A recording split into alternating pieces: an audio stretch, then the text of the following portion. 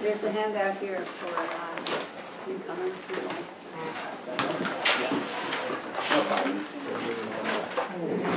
Yeah, this is a student, so it's kind of nice.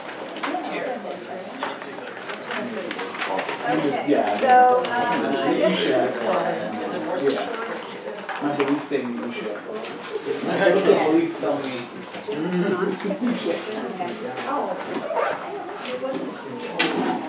Alright, so welcome everybody to our first uh, uh, seminar colloquium of the spring semester at the Center for Global Ethics and Politics. Um, As usual, the event will be followed by a reception in the Ralph Bunche Institute, which is 5203, and we'll be all going over there afterwards. But the main event is a talk by Margaret Moore, who is professor in the Political Studies Department at Queen's University in Canada, and is the author of four books. Uh, What were some of the earlier ones called? Foundations of Liberalism or Ethics of Nationalism, should have looked it up, there was one. Political Theory of Territory. And, well, that's the most recent one. No, the most recent one was um, Who Should Own Natural Resources. Oh, wow, okay, wonderful. So, um, her, uh, yes, so the Political Theory of Territory book won the Canadian Philosophical Association Best Book Prize. And she is known as uh, one of the foremost um, theorists of territory in the world. So I'm delighted to, um, to introduce Margaret Moore, who will be talking about what makes gentrification wrong. Thanks very much. Okay, so, um, well, first of all, I want to thank Carol Gould for the invitation. And I want to say a couple of things. So first, I'm not an urban theorist. I don't do political theory of, you know, urban studies or of local neighborhoods. This isn't my normal territory at all. Um, but I did write a book on territory, and I was really just interested in the states, justifying the state's geographical domain. And to do that, I had to kind of examine the relationship between people and place. And there was a paragraph where I, so I, you know, you, you, you make an argument to get to somewhere, and you realize that that argument's going to have implications for other things. So there was a paragraph in which I made a comment about a few other things that I thought it had implications for, one of which was gentrification. And, um, and then a couple of people cited it or wrote on gentrification, which I disagreed with, and said it was my view. So I thought maybe I should turn my attention to that, having just written this like quick paragraph. So um, I got together with a colleague of mine, um, Meena Krishnamurthy. She's a colleague and a friend, so it was fun to write. And sh um, and she works mainly on philosophy of race, which I thought was important in discussing gentrification, and we wrote it together. So the paper is actually our paper. Um, so the structure of the paper is as follows. So first, I define gentrification. And that was hard to do in a way because you could give a kind of morally, you could give a kind of moralized notion of gentrification in which the wrong almost falls out of the definition you just gave. So I didn't want to do that. I give a kind of neutral definition of gentrification. And then I motivate the paper to try to explain that it's not that easy to figure out the wrong of gentrification. And then I describe three rights, three place-related rights that I think are violated. That actually explains the wrong, because if it's a violation of a right, it turns out to be a wrong. And then there's uh, a- another section where I look at the psychological element, and that kind of builds on an argument, I'm not going to discuss that because it's not actually central to the argument of the paper. And then I respond to two potential objections. I may not get to the two potential objections, but actually they're, they're so, I think you'll ask me anyway if I don't get to it. So I, I think that I will get to it that way. Are, you going to keep track of the time? More or less. more or less. Um, I mean, I don't have it in front of me, but I will, I'm cognizant of time. Okay, so, um, so first I defined gentrification, and so I, the process, the term gentrification was first used in 1964 by Ruth Glass, who's, um, who used it to describe the arrival of middle-class individuals and the displacement of lower-class residents from an urban neighborhood, and she was talking about London, England. And today, since class and income are highly correlated with race, the term is often used to describe the displacement of racial minorities. So, and the displacement of black and Hispanic residents accompanies gentrification in many places, especially in the United States. But on this, on my account, it's not an essential feature of that process, at least in the sense that gentrification can occur in the way that Glass describes without any racial differentiation between incoming and displaced communities. But nevertheless, because they're often highly correlated, the impact on those communities is an important part of its problematic nature. So I just think that's true, but it's not defined in those terms. There's uh, disagreement about what, about describing gentrification, and some of the definitions describe it as a distinct temporal event, but most, but it actually looks now like as if, that most describe it as a process with, has distinct phase, phases, so displacement and disinvestment replaced with replacement and reinvestment. And they, and so those distinct phases might mean that you don't have complete gentrification as long as you have some reinvestment. The typical harmful consequences that are said to accompany gentrification, and I'm not disagreeing with this, are unaffordable housing leading to homelessness, expulsions, homogeneity, meaning that once diverse neighborhoods become economically and culturally transformed. None of these are necessary features, or at least not all, all of them are necessary features. Um, so I just follow Sundstrom in adopting a kind of capacious understanding where gentrification refers to demographic, demographic turnover and economic change within an urban landscape. So there's widespread agreement. So now I'm going to motivate the paper because you might think, well, it's kind of obvious what the problem is. I mean, some people are going to say that, right? So the, here I'm going to motivate the paper, which is that there's widespread agreement, well, at least amongst the people I know, uh, about the negative consequences of gentrification. But there's disagreement about on whether and how gentrification might be wrongful, and that's hard, harder to show. And this is so for two reasons. The first is that gentrification occurs in a context where many different problematic features of society come together. So deep inequality and vulnerable populations and racism, especially in cases where class and income are highly correlated with race, often occur alongside gentrification. So you might think that actually gentrification isn't wrongful. What's wrongful are these background unjust conditions in society. That is, there's no distinct wrong about gentrification. What we have are a, a kind of society that's basically unjust, and these local features are highlighted in cases of gentrification. So then there's no distinct wrong about gentrification. And that's, um, so you might deny that there's a particular wrong about gentrification, and it's actually just the injustices in society. So that's one view, and it's a view that I initially held, I think. The second reason why it might be denied that there's a specific wrong associated with gentrification is connected to a particular understanding of what makes something wrongful. So it could be regard, it could be thought that gentrification is a social and economic process that harms some people and benefits other people, but itself is non-wrongful. And um, it's not wrongful because although it might set back the interests of some people, the process itself is the result of many different individuals making legitimate decisions in a market setting, even though the cumulative effect of these decisions are harmful to some people. So Peggy Conan, in her book, it's not clear she endorses it, but she describes it and doesn't object to it. So that seems to be something like Peggy Kohn's view. And, and that is true of many things in, the, in a capitalist economy, most of which have differential benefits and burdens, and some have serious consequences for some people. So just think about a competitive job market, which might mean that some people don't get hired at all, or don't get hired to the best jobs. So it looks like some people's interests are set back and others are benefited. Or consider setting up a coffee shop near an existing one, which may mean that the competitor will not survive and the owners and workers might become unemployed and bankrupt. So it's harmful to some people in the sense that the process can seriously set back the interests of some people. But you might think, well, this is a series of legitimate decisions that are made by different individuals in a market setting. And in that context, it's usually thought to be non-wrongful. And so some people could claim that gentrification is a process like that. It's a cumulative decisions. It can be harmful but non-wrongful.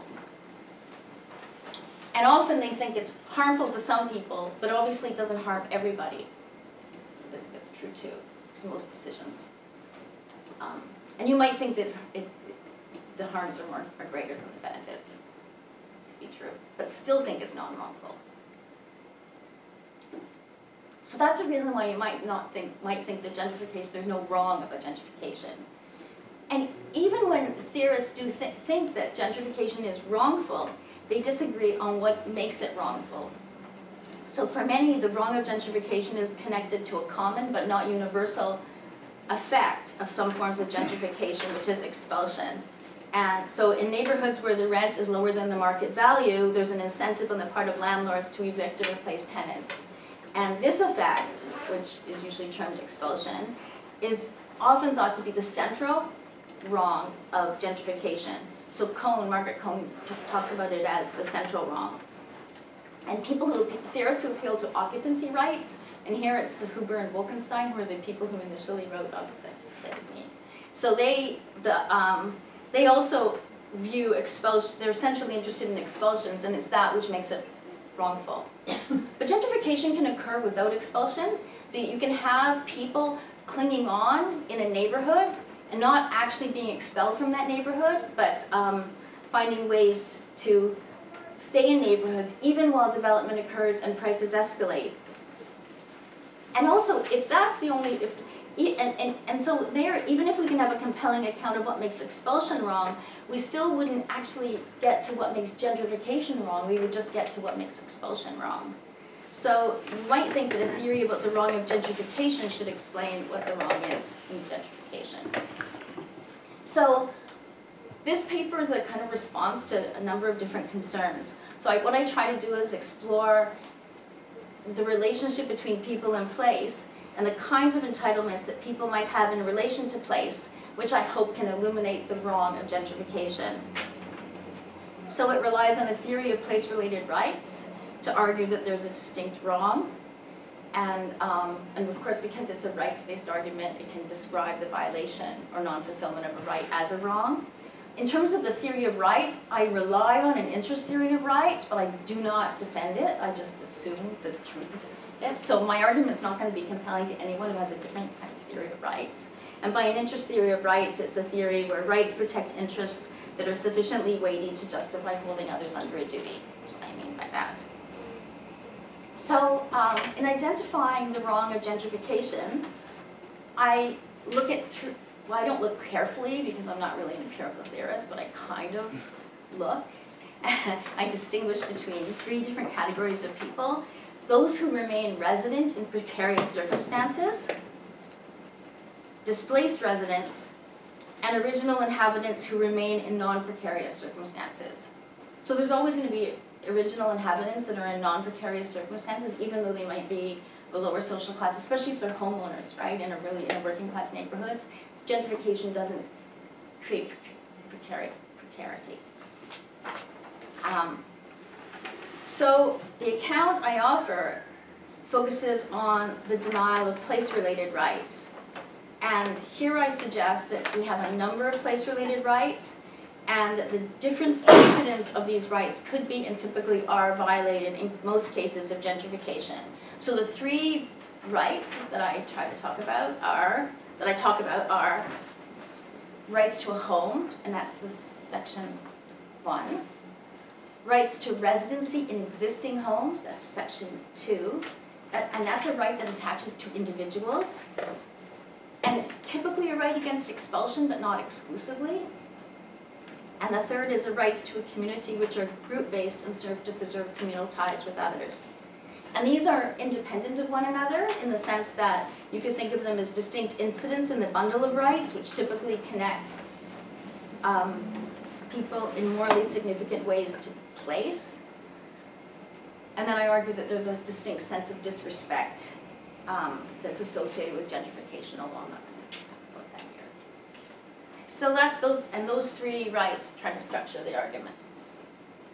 Okay, so first I'm gonna talk about a right to a home, and maybe this is gonna be the most obvious part of the argument, because it's what most people think is the wrong, right, in terms of expulsion. So one of the most obvious place-related rights is a right to a home. The term home, I mean this to refer to a familial dwelling that is locatable and has boundaries in the sense of an inside and an outside. It's located in space.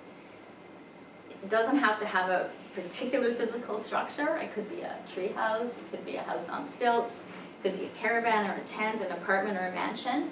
I don't mean it to depend on a strong liberal view of private property, so the right being claimed is a use right to control the physical space and against being rendered homeless. And the right is grounded in both autonomy and well-being interests. So the well-being interest is kind of clear. It's a sort of, um, it's often described in terms of a basic right to shelter. So since we're physical beings, we need protected access to clothing and shelter. We need a place to defecate and perform basic bodily functions. And this shouldn't be trivialized because the adverse effect of home- homelessness on street populations has been well documented. So um, the fragmentation of routines and relationships upsets the sense of continuity that people who have homes take for granted and is a fundamental condition for living a life that one feels in control of. So um, here, so Cara Nine has emphasized that secure access to one's private dwelling is key to our capacity to function autonomously. And the idea here is that cognitive functionings, including the ability to form memories and attachments, and to evaluate, reflect, and act on these values requires secure connections to physical objects. So she has this argument about the extended mind hypothesis.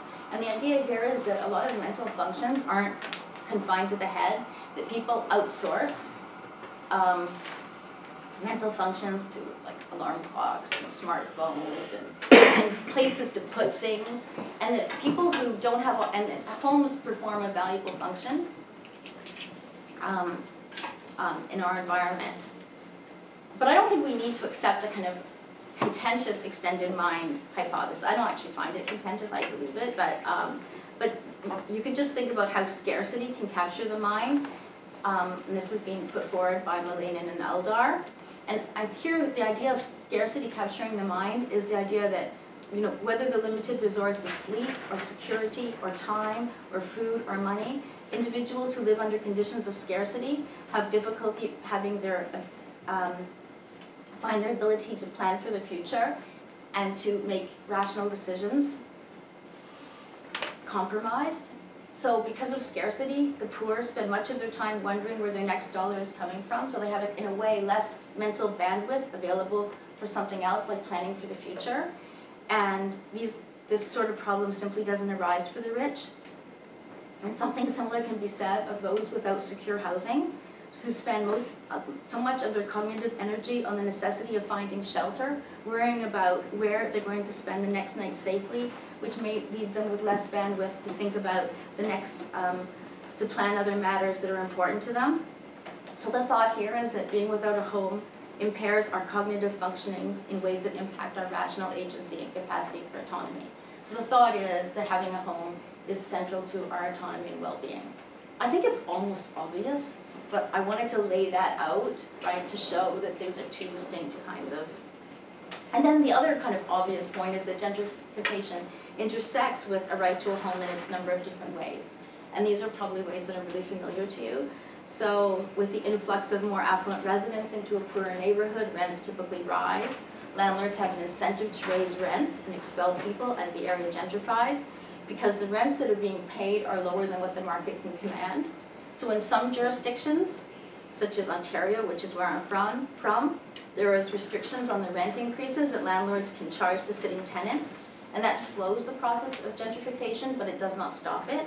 It doesn't stop it because as tenants leave, they are typically replaced by more affluent tenants, and then landlords demand market rent. In addition, landlords often find a way around this rule, either by converting rental accommodations to sale, which is what they do, which is really common in San Francisco, or they take advantage of rules that permit family members of the landlord to occupy the unit, or they claim that some repair is necessary, thus leading to eviction. It's really common in Toronto and Montreal. So even when people aren't evicted, their high, the higher prices may reduce the stock of affordable housing available in the city as a whole. Whether gentrification leads to homelessness is a little bit of a contingent matter. So if only one neighborhood is being gentrified, but other neighborhoods are subject to disinvestment and become affordable, and these are roughly equivalent in terms of autonomy and well-being, interests, then you have a transitional problem, but you don't necessarily have, um, but it's only transitional. But in most cases, the process of gentrification occurs alongside significant price increases throughout the urban area, which means that there's less affordable housing available. And that's happening everywhere. So San Francisco and New York, everyone, like, like there's a lot of literature on this, but actually this is true almost everywhere. Um, but the figures are clear, like so for example, in the Bay Area, the number of low-income families increased by ten percent, while the number of units defined as affordable for the population decreased by fifty percent between 2000 and 2003. That's fifty percent was huge. Um, and this disappearance of affordable housing is noted in New York, because there, a lot of the literature talks about the hundreds of thousands of apartments removed from rent control and placed on the deregulated market. And if that's the wrong, then it looks like the solution is to build more affordable housing. Um, that's the remedy. And that would remedy violations of that first place related right, right to a home. But the, my argument here is that this would be good, but it would not be sufficient to capture the full nature of the wrong involved in gentrification. It cannot, for example, account for the common idea that losing one's own home in one's own neighborhood through gentrification um, is wrong, even if more affordable housing is available somewhere else. So we have to explain that wrong, right? Why being displaced from your home is wrongful and not just from any kind of home. And I'm not trying to prioritize what's worse here. Okay, so that gets me to my second argument, which is the residency right. So this, this, this argument has, was developed in terms of the territorial rights literature, um, in terms of occupancy right. But here I call it a right to residency because the next two, both this one is section two and the next one are versions of occupancy rights, but I distinguish them. So I'm gonna call this a residency right. So there are two distinct um, counts of occupancy rights. Uh, one is in my 2015 book, and the other is in Anna Stilz's 2019 book, as well as some articles that she published before then. And I'm going to focus on her account of occupancy rights, just because I don't want to talk about my account. You know, because I'm trying to do something different, so when I'm going to talk about her account, although they're actually not hugely. Okay, so for Stilz, an occupancy right attaches to individuals and is comprised of two main incidents. First, it comprises a liberty to reside permanently in a particular space and to make use of that area for social, cultural, and economic practices, and to be immune from expropriation or removal, and to return after a temporary absence. So this argument was developed not thinking about gentrification at all, but asking the question about why it was that people, when they leave a country, like you fly somewhere for vacation, have a right to return. And that's a good question. Like you've actually just left, right? What what what is it that gives, that gives you the right to return? And there, the right to return, we knew the scope of that right. It's usually a right to return to a country. And then um, there's a question about when people are displaced internally, with the, how, how would, why, where they have a right to return to. So, um,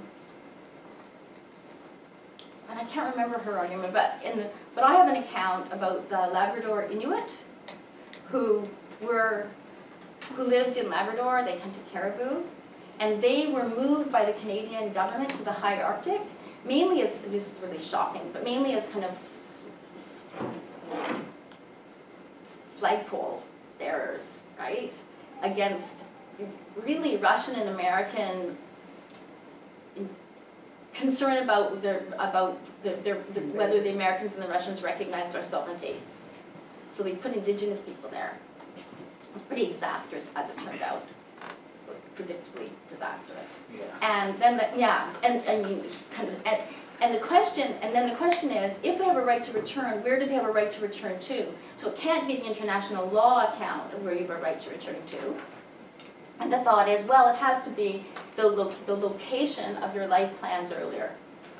And so this account justifies, uh, so, so, so this account suggests that people have well-being interests in located life plans. So Stilz says they have broad well-being interests in carrying out morally reason, pro- reasonable projects that people have. Uh, um, and she both characterizes this as an autonomy interest in the sense that people have, are choosers and have, and, and make choices and, and plans. But also she wants to say that our located life plans don't have to be chosen, that we have well-being interests. And to render our located life plans secure, um, it's, we need to, one of the background conditions is that we have a right to live in the place where reasonable plans are made, so we have located life plans.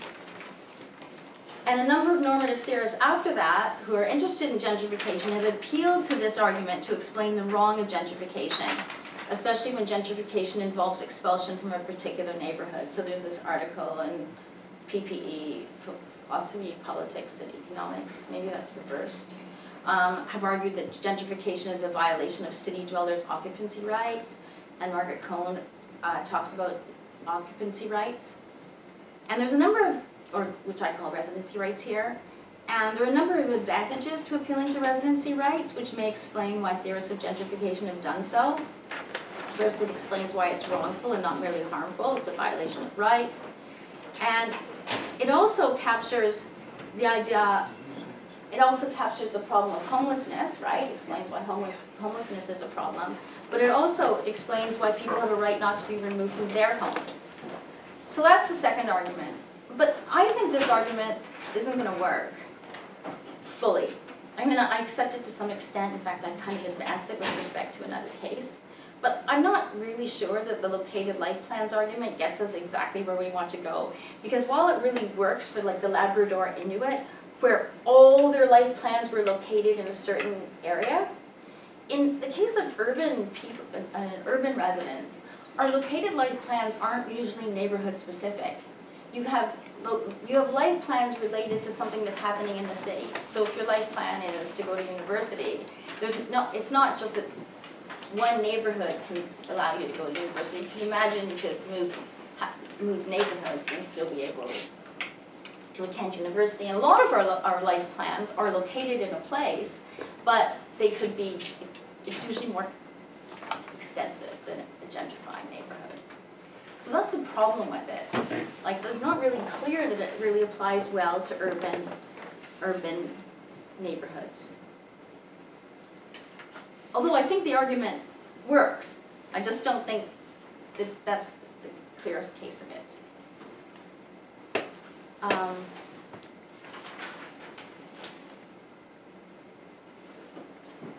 So that brings me to the third um, place-related argument.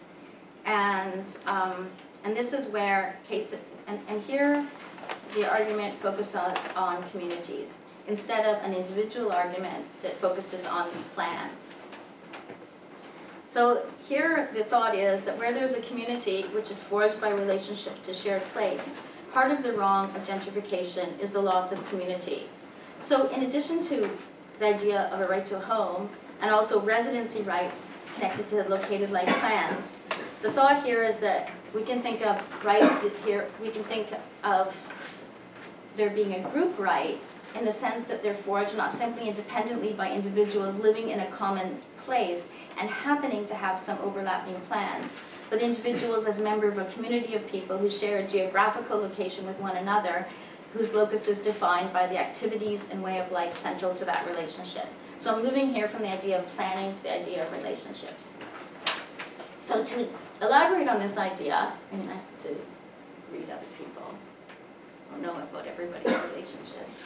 So, um, so I, um, so, um, consider Tommy Shelby's discussion of black neighborhoods.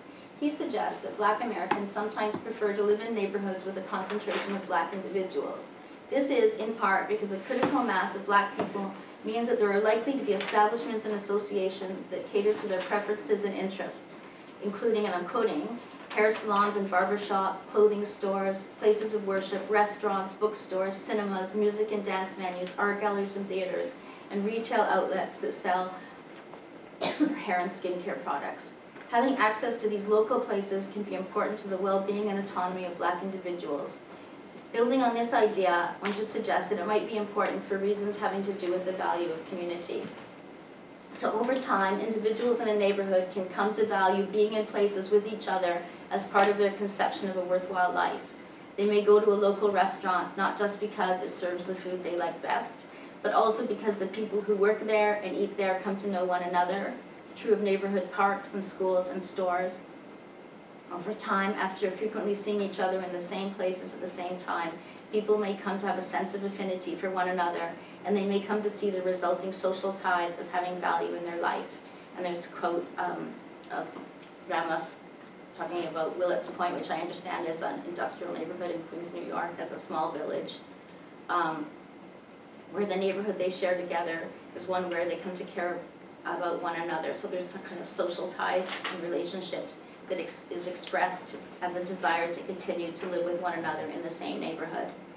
And one of the more, one of the, I thought compelling accounts is um, Michael Henry Adams has The End of Black Harlem. He says that gentrification is wrong in part because it disrupts the collective interest that black people have in sharing place together. So he writes, it was painful to realize how even a kid could see in every new building every historic renovation, every boutique clothing shop, indeed in every tree and every flower in every park improvement, not a life-enhancing benefit, but harbinger of his own displacement. In fact, it's already happening. Rents are rising, historic buildings are coming down, the Renaissance where Duke Ellington performed, and the Child's Memorial Temple Church of God in Christ where Malcolm X's funeral was held, have all been demolished. Nightlife fixtures like Small's Paradise and Lenox Lounge are gone. So here the thought is that place plays a central component on this, on, in the wrongs of gentrification. So his, um, historic buildings, parks, nightclubs, churches, places where black people come together are slowly being eliminated. So on this account, gentrification is wrong in part because it disrupts the places that Adams and other black individuals came to value as part of a life together. So, um, Earlier, the thought was that, um, so I, I suggested that it was unclear how a right of residency can explain how individuals can be wrong if they're relocated to a new part of a city where they can still fulfill life plans.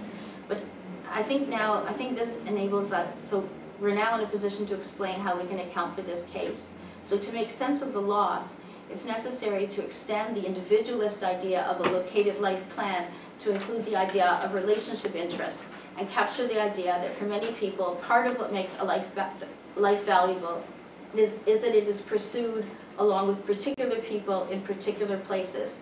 That is to say, people have a strong, have a collectively shared interest that group members have in living in a neighborhood together, and in the case of gentrification, that it has been disrupted. Um, so, um, so this actually explains the wrong of gentrification, even in cases where residents are not expelled. So in the introduction, I said that we can distinguish between three types of groups who are affected by gentrification. People who are forced to leave because of rising rents or evictions, people who remain in place, often in precarious circumstances, and people who remain but whose position is not precarious. And this account can explain the wrong in all three cases, and it can account for the surprising fact that often people do struggle to remain in a gentrified place. The reason is easy to see once we incorporate this part of, uh, in our account of gentrification. It's because people are attached to the neighborhood through their life plans and as a background geographical structure of their life, and while the transformation of their neighborhood is unsettling, it is not as complete as in the case of expulsion. And second, it can explain the wrong for all three groups. They all experience the loss of their community. That's clear in the case of displaced residents, but it's also experienced by people who remain but find that other people who shared the place with them have to go, as well as many shops and restaurants that, created, that cater to their social group. For these people, gentrification can be a disruptive, unsettling process, and its wrong can be explained in terms of the loss of community. Then I have a section about humiliation and disrespect, which I'm not gonna say. I think I'm, It's just a sentence here and here. No?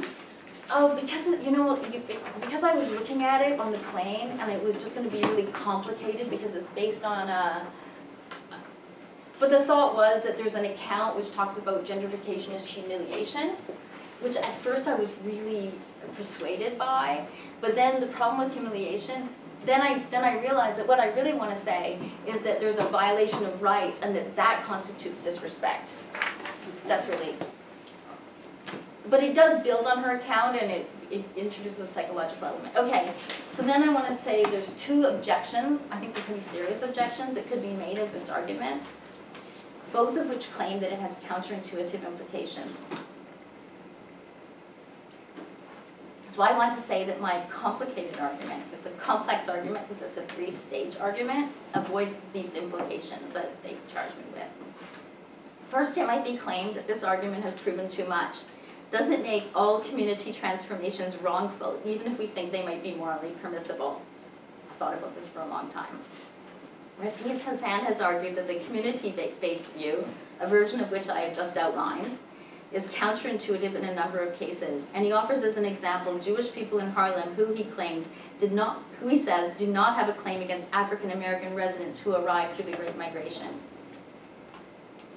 But I think this threefold argument does account for this intuition because it builds on three important place-related rights.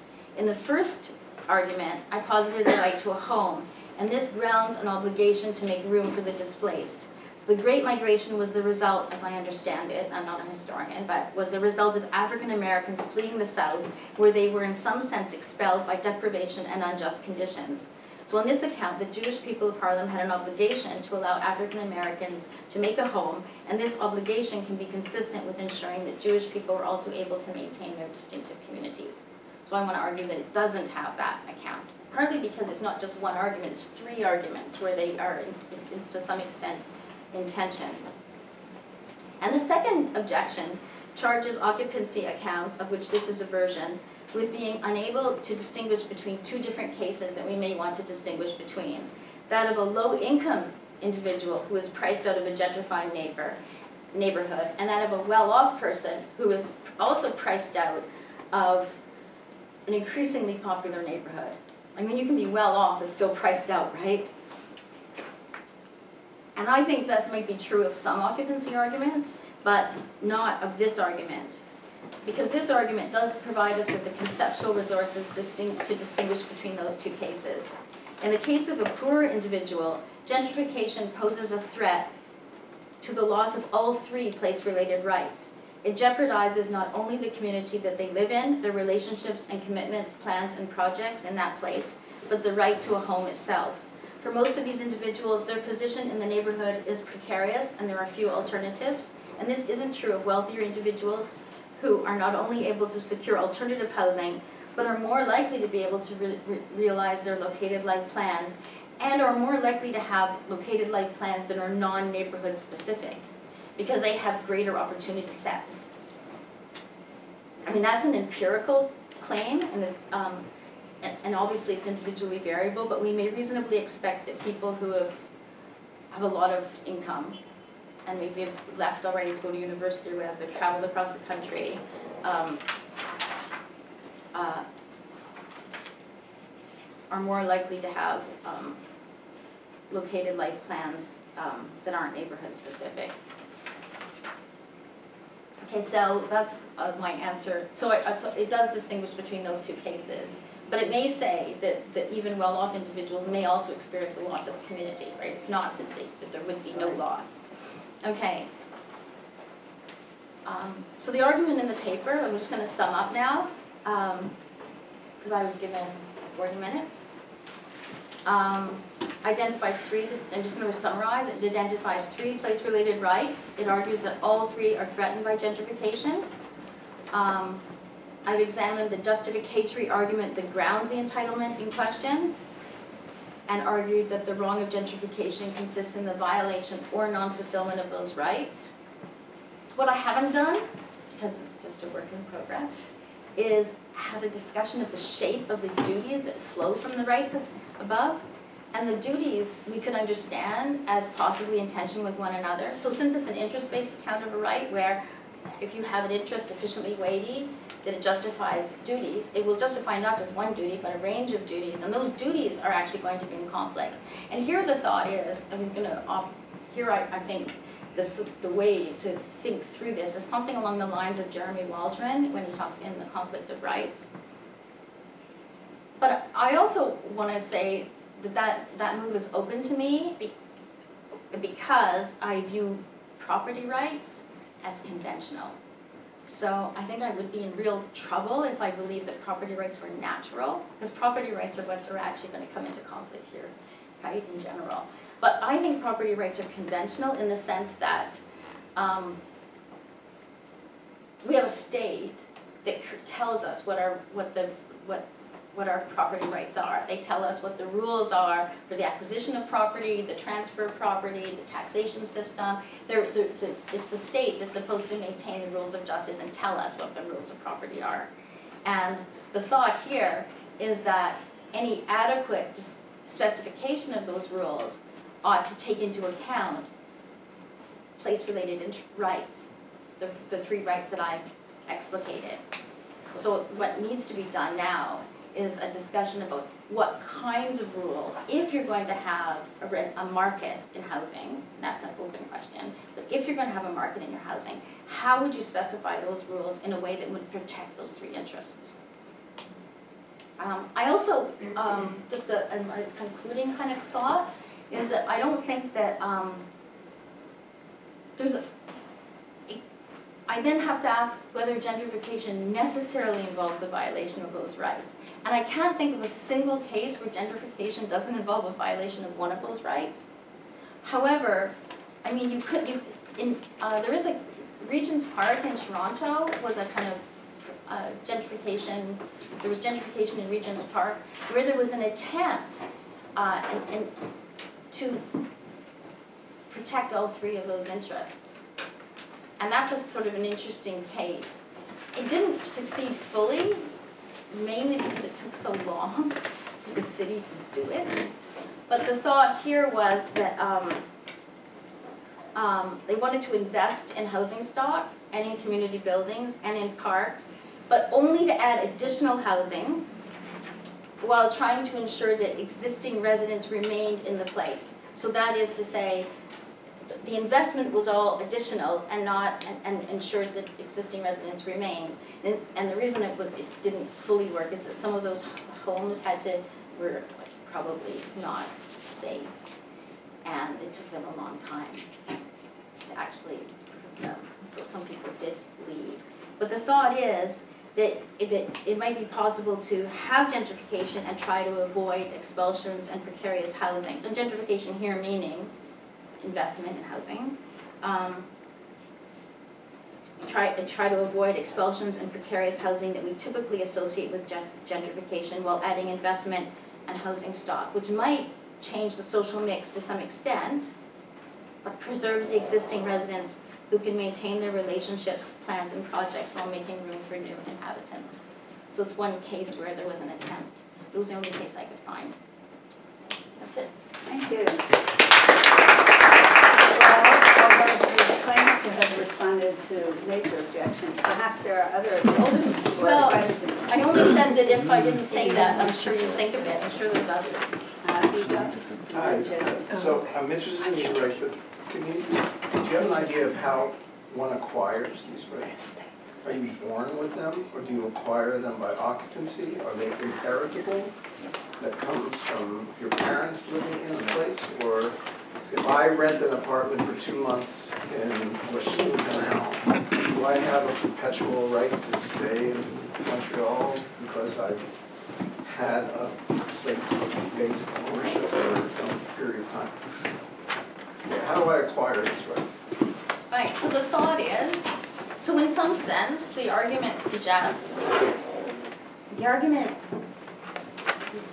I think all, I think, so I think the right to a home argument, which is the first place related right, is really just based on people being physical beings and what kinds of need, and that they need shelter and they need home and they need security. So that's, so I think that argument is, uh, works differently than the other two. So that's, um, I don't know if that counts as a natural right, but it's a right that It's a you. universal. But we can think universally that people need homes, right? Um, and it's not that the other two aren't, couldn't be universal, but they would be contextually specific. So the thought would be, um,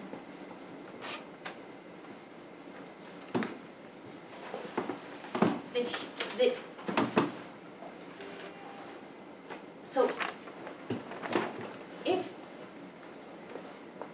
so we, so the way to think about, so the, I think the way to think about the acquisition of rights in these kinds of cases isn't um, as if individuals come to some kind of planet and, and, and have various rights that they take with them. The thought is that people live in a place and they're located in a place and by living somewhere, they develop plans and relationships and moral interests and they develop relationships there. And these relationships and interests that they have are different from people who don't live there.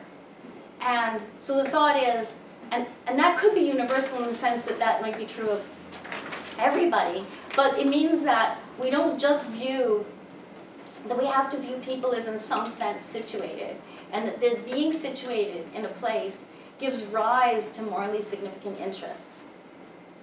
And because it gives rise to morally significant interests, they, it, the, uh, that you'd have to think would be elevated sufficiently to give, to, to give rise to duties. And then, um, and then your, your sort of re- more rhetorical question about, well, when you live two months in a place, do you have perpetual use? Well, probably none of the arguments could justify that.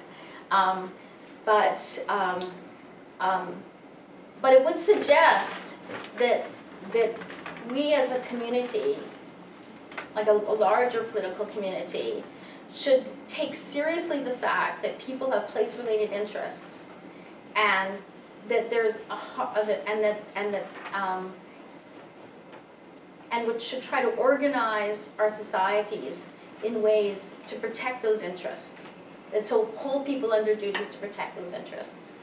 And probably those interests can, only that are, um, we only think they can be generated over a long, like a long period. Um, and I don't have a cutoff point for each individual one, but I think that looks like it's the picture. And if that's, and, and, and, and just as a kind of aside, when you're putting it against property, when you say, well, does somebody who rents an apartment get an interest after two months? I mean, it's a funny thing that we think that people have rights to return to their state. And then that must be because of some kinds of interest that they have this kind. And there's very parallel arguments as well with neighborhoods which have been completely ignored. So, I mean, so if you think that's true in the one case, then you have to consider as well this second case, where it may even be that the interests are as powerful. And, um, but it has more unsettling implications, right, for the way we organize society. Jesse? Thanks, this is really, all really interesting. Um, I guess I have a question about the right to community. And that is that I, I see, so I see the, the sort of in, in, intuition here, right, which is, yeah, you know, your barber shop closes down, right, the restaurant in the corner, like, you know, it all gets forced out. But I'm curious, would this also encompass cases where maybe, you know, people aren't priced out, you know, your sort of community members aren't priced out, but say they just choose to leave and they just pursue greener pastures, right? Like, like, oh, you know, we just don't like this place anymore, we're moving, we're closing down our restaurant, we're closing down, you know, so-and-so. And slowly you find yourself just left in a wasteland as people leave. Would, the, would, would those people leaving violate your right to community? That's a super interesting question, because I, I'm, I mean, because I, so of course I think relationships have to be two ways, right? I can't force you to be in a relationship with me if you don't want to be in a relationship. So that's like a, a short answer. But I think that's a really interesting question, because um, I think, because there's all, I mean, so, so I. There's no correlative duty on the part part of your fellow community members to stay there. Right. No, I, I actually do think that's right, like, people don't have a duty to remain, right? That's a problem. Yeah, and I, but I actually think that is a puzzling kind of problem, right? Beca- and the reason it is, I don't, so I don't actually think this is, um, this is a devastating criticism, but I do think that we, that we need to think hard about the kinds of, about, about the sort of loss that occurs with depopulation. So, um, uh, I mean, this is expulsion, but also depopulation. So, so on the one hand, you know, you, you, we do recognize that, that, that, that that there is, that there are these, um, strong relate, um, that people do have these strong interests. And there, you might just say, well, you, it would just be wrongful to, to hold anyone under that kind of a duty, right? It would just violate their liberty, and that might just be this, this, the, the easy answer right? That you can do things to facilitate people, right? That the, the state only has certain kinds of mechanisms that it can employ, and so it can't stop people from leaving. And that might just be the answer, that there, that, that will lead to a loss of community, but that's just inevitable when people leave. You, but you might think that there might, so if you thought that, you might think that there are still things that could be done to ensure that there could be a community. Because sometimes Right. there's massive disinvestment in a place. I mean, I know in Canada, when they've actually, when places have basically shut down, the state closes the post office, they close the school. I mean, it's expensive to run, right? It's more expensive than if you move them to a larger place. But if you thought that neighborhood, that community was, were important, you might have a different calculation about what the state should easily do. But I, I would be very reluctant to think that people shouldn't be at liberty to leave.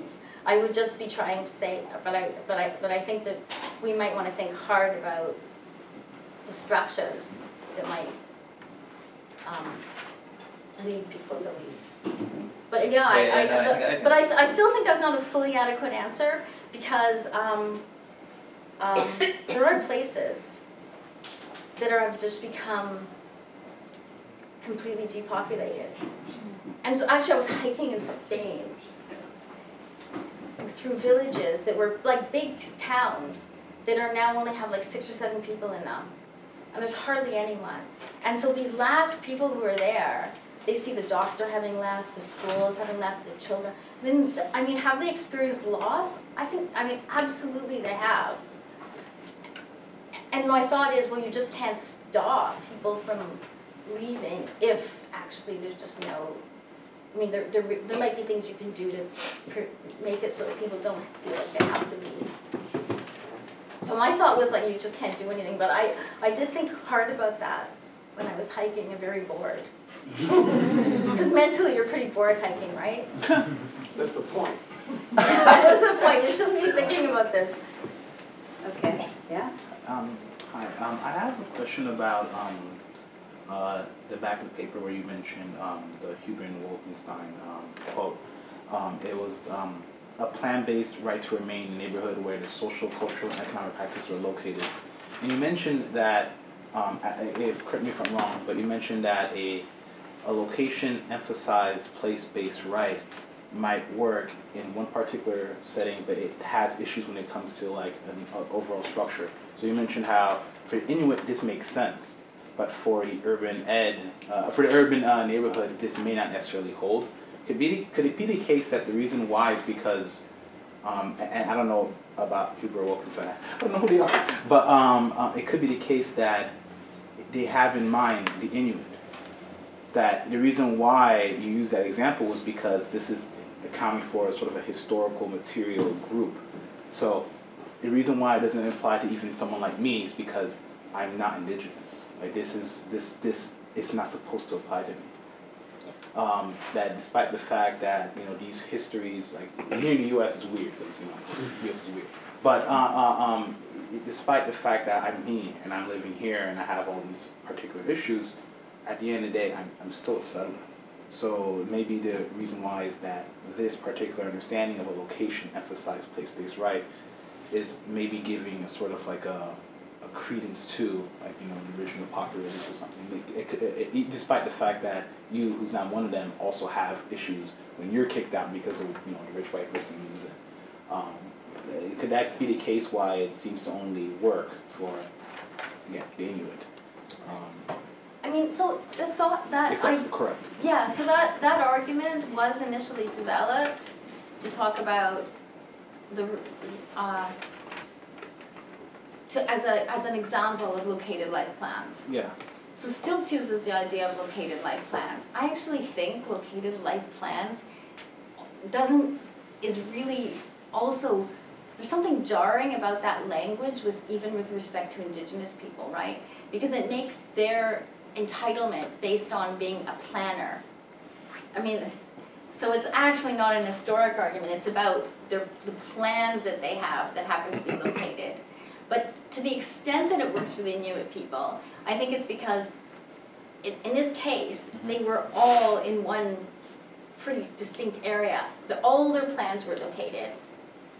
But, so it's a really good example. I mean, it's a kind of overdetermined example because we think they have those entitlements anyway for the reasons you just gave. Yeah. But, um, but I, I, I think that the, I mean, there's another kind of problem with the located life plans argument. It's that,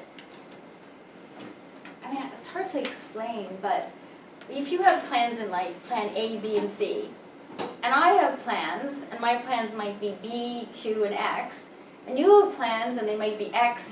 Okay, so some of those plans are located here, and some of them are located in the city, and some of them could be very far away. And there's nothing to say that they're gonna conv, what, I mean, what would make them converge on the same place? Well, it's because if people live together, they're more likely to converge, but they're not, it's not clear they're gonna converge on the same place. And it's not clear they're gonna describe a community. Right? Because different people have different located life plans. So that argument about located life plans, I believe that our plans are located and that this does get, and, and that's one of the reasons we should think hard about people in place. I just don't think it's gonna work well for urban residents. And I also think the language of planning might be too, like it's a highly individualist notion. Industrial. That, that's my favorite word. It's a, it's a, yeah, I mean, you could have shared plans, but whether they're shared is a Yeah, Usually contingent, not. qu- contingent question, Could yeah. I ask one, uh, two things? First of all, I'm a little worried this could be question begging, the right to the community. How do you define community such that it isn't simply the right to stay in the neighborhood and settle the question by definition? Right, so I mean, I, I don't actually, yeah, so I don't actually in the, in the paper, um, I have a terminological issue. So I don't actually talk about a right to a community, I just Oh. say, although it is in that handout. Especially if you see it as located, it's sort of like you Yeah. settle the thing by definition. Yeah, no, no, I don't think it does. So there was an argument there, not a definition. So um, the argument was, in the first case, it was connected to people's plans and aims. And in the second case, it's about relationships. So I think it's a kind of relying on relational morality here a little so- bit. So let's say you moved the entire community somewhere else, so they still have the same relationships. So the difference, you'd have to appeal to one of your other rights, right? It would be an occupancy thing? Well- Or are you trying to understand the role of place as somehow, how are you understanding place in relation to that community in which all the relations could remain more or less the same in another place? Yeah, that's a good, that's a good question. So, um, uh, so I understand the question, yes, uh, more clearly, I think. Um, so in that description, I tried to do two things, which is describe people as being related to each other. So one of the reasons we care about the place is because we care about people who live in the place. But it doesn't, but I think we, that we may also care about the place too. So that's why I use the example of people caring about their churches, or where Malcolm X delivered his oratory, or, I mean, that it might be that we have relationships with people, and that of course they live in a place, but we may also have relations to place. And that's a very alien, that's a thought we no longer really have, we just don't understand what that is. but there's all, and, and we have no language in liberal political thought to really talk about that, I think.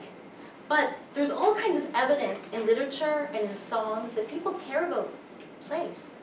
Like it's, like that's really, Some care more than others, like Some- the diaspora community. some care, would care less, because the, you know, Orthodox Jews can reconstitute their community they do well, work. it, it, but the place may be, the, the place, the places could be different, they might not be the same, like a nomadic people might have a different account of place. But, and it's interesting because when the, when the, some of the expulsions have occurred, and this is true of St. Kilda's in Scotland, but also the Labrador Inuit, they moved them, they saw that individuals were peeling off, and they moved them as a group, All the So- indigenous, all the reservations, Indian reservations were moved as a group. physically moved as a As a group. So you think that if all they care about is the relationships among people, shouldn't be a problem. And yet it led to profound, think it's the Oh, yeah. disgrace and the Right? humility part. That's, but yeah, there's, I- and, and, and that's an interesting that's thought. real connection to the land is a There's very a- important feature for them.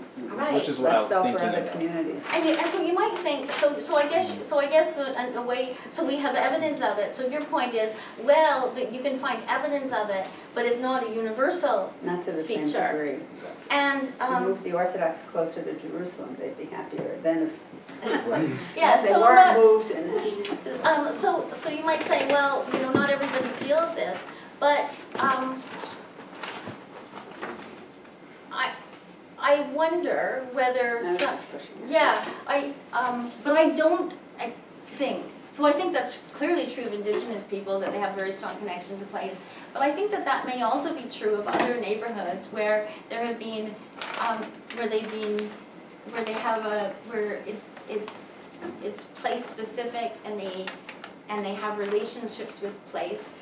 So, um, I think it's And it might be against their important. will idea, you're downplaying that too much, the wrong of it. You know, that they haven't chosen, the self-determination element would seem to play a role here. That it isn't merely that they've lost their place, but they're sort of forced to move. You're downplaying. Oh, no, no, I actually, I mean, I haven't really, I haven't, um, I don't dis, it, you're right that it's not discussed. Like, do I think that, the coercion is a really important part of the wrong? That's a kind of obvious wrong, coercion. I mean, so, so I didn't really think that I needed to discuss the coercive element. So the question is only whether in addition to coercion, there is any independent wrong with actually having to leave a place, whether that's a, an additional Oh, element of the wrong, because I just took it for granted to some extent that coercion is a pretty serious violation of rights. So I was only asking, could there be also place-related rights? Yeah. I'm gonna pass the question back. Okay, and then So what I wonder is where in your account does the harm that re- is, results, or that's reflected in the loss of a community of values?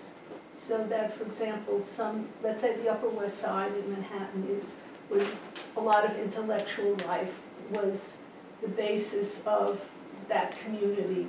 In the village, Greenwich Village, the arts world. And that gets, through gentrification, uh, displaced by money, the value of money. So where in your account does the alienation from shared values play a role? Because it's a really painful experience um, that we go through, at least in New York. Yeah, so I haven't actually, um, that's a really good, I mean, that may actually be an additional argument that needs to be theorized. Um, but I haven't done any theorizing, I haven't theorized that at all. Spend some more time in New York. So all I did here, all I did, and, and, and I, I think, I mean, I think, I, I mean, I, ha- I think I may have a worry about that, even though I think that that might be real. All, so all I tried to do here was to ask the question whether there, I mean, so, was to try to give three, three account, three kinds of rights that we might hold that are related to people in place. And to suggest that gender, that, that those constitute that there, that if we have rights, that these might be the kinds of wrongs that could explain the wrong of gentrification. I mean, of course, there's also the coercion element, right, which, which isn't, of course, gentrification specific, it's, because there's coercion everywhere. And there may be, and there's many others, and you're probably right that values are an important part, but I, I don't actually discuss values except in a little, a little bit indirectly, right? Like in terms of people being related to place and to other people. Mm-hmm. You might assume Community. that there's, that, that, that this community could be emanated by values, but I don't, but I'm a little worried about a direct appeal to values. And the reason I'm worried about a direct appeal to values is because I want to leave open the thought that communities can change and can legit, and, and, and, and, and that we do, and, and because we can't just privilege, I mean, I want to give importance to the existing community and the relationships of people into place, but since people also need homes, we also need to, I mean, I can't make, I can't just privilege incumbents. And, um, So, yeah, so, so? I haven't, so, so I, I would be a little worried about the idea that value had to be static, I think. But, you- but I haven't actually thought hard about that and, and, and, and what that, and, and, and how that could impact the argument, which it could do, so Follow. thanks. yeah, and to build on that, are you worried that your third rule specifically could be inherently turned against your argument? So a major, a major problem right now in New York is scarcity of housing. And a major contributor to it is the prevalence of single-family homes and the reluctance of those communities to allow multifamily zoning or apartment zoning for affordable housing. The argument that I think they would use is, this is a violation of the community that we've built up. Therefore, you cannot do it, right? that's So, I mean, are you concerned then that it's just, just as that makes gentrification wrong, that also makes, you know, the evolution of community, even though it may be utilitarian? Yeah, so this is a version of the case that I, the Great Migration discussion, which is just really a discussion about, um, which, which I tried to respond to through that example. And the, and, and I think that, I think that the community argument, if it's, if that was the only argument we accepted, would be exactly, would, it would be sub, would have the effect that you, that you have, right? People would say, oh, this is our community, and it's a community of low-density housing, and it's a community of, right? And it would have People exactly, us. yeah, it would have exactly the effects that you say. But what I wanna say is, there's three different arguments here. And where there's a right to a home, and actually, I think, I think that argument's a pretty powerful argument, that people need homes, they need secure and affordable housing against expulsion. And then I have these other two arguments, so what I'm trying to do is to say that all three have to be in the picture. And therefore, what you need to do is to try to create, try to think about ways in which you can protect all three. Have affordable housing and have no displaced residents and have, I mean, I mean, all three have to be in the mix, and they're balanced, because they are potentially in tension. So that was the reason I think that you, that you, that we actually need not just one argument, but a multi-tiered argument. They're not incompatible, but you would need to des- to describe in more detail than I have done the kinds of duties that the state might have, the ways in which it should think about housing, Yeah. right? To avoid these effects. Okay, my I guess my question was, but you just sort of answered it. That who owes these duties? So you're thinking it primarily in terms of the state, and that's that's all. Is that correct? It's okay. Okay, sure. Another interesting way that these could stand in tension with one another. This isn't meant to be a criticism because I'm totally on board with demanding more housing from the state. Um, is that the right to a home can come into conflict with the right to community the other way, right? So a lot of the time, the way gentrification starts is not by super rich people moving into a neighborhood, but super kind of really people who are maybe making the same income as the people who currently live in that community, but are students. Um, and that can also degrade community, but those people have a right to a home.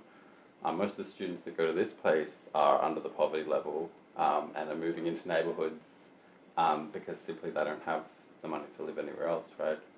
So I guess I was just trying to get clear on who owes that du- those duties. Um, but if it's just the state, I mean, sure. Well, I think. It's not me. Yes, I'm not to blame. Let's move on in. Well, I guess, I guess, I guess, what- I guess what I'm trying to, what I, I have a kind of basic view, that's actually really helpful, but I, so I think the basic background view is that the state sets the basic structure of society, and it should do so with, with a kind of idea about what, what our, our rights are and our duties. And then we operate within what we hope is a base, is a background basic structure in which we're free to make decisions. Now, whether or not we also have obligations to think about our own individual behavior within an unjust structure, I haven't discussed. So this argument proceeds entirely at the level of how, how would the state, how ought we as a political community organize the basic framework so as to realize these rights? I- think you could say more about what individuals have to, ought to do. Um, But I also think you're right that, that, that, that, that- that they will come into tension in the way that you suggest. And then I think that when we're thinking about how we organize or our, our place, places, that we would try to balance those interests. I mean, I mean, you know, sometimes some, it's not the case that any, having some students in a neighborhood Mm. is going to destroy the neighborhood. But you can imagine in some contexts that this, that it, that it could lead to a kind of problem. And in neighborhoods that, and in, in some places that in Canada, because we have um, rent controls for sitting tenants, landlords will charge market rent when it comes available. And then they like to rent to students because they get higher turnover and they can keep renting. So people who want to stay actually have a, put in applications to rent and can't find a place to rent. So, I mean, I mean, there's many, many tensions here. But the tensions aren't just in my account, the tensions are No. in the world. And then the question is, how do we, how do, how do we, how do we think through those tensions to have a fairer, a more just structure? Um, Any other questions? Well, that was a nice concluding thought. So I always like references to a more just world. I were happening. Yes. Uh, so please join me in thanking Margaret Moore.